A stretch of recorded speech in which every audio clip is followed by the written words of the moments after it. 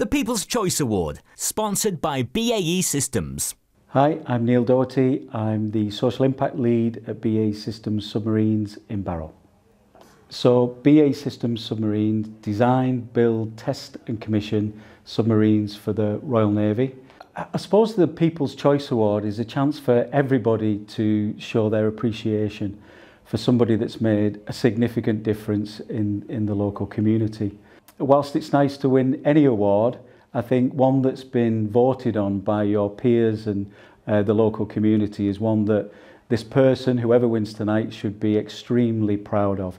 And I hope that by winning the award, it'll encourage them to not only continue to do what they do, but even more of it, hopefully, because they're obviously an absolutely fantastic person. So I think it's really important for businesses to support the Love Barrow Awards because it's a chance for us as, as the recipients often of the good work that goes on to say thank you to the people that um, are making such a fantastic difference in, in the local community.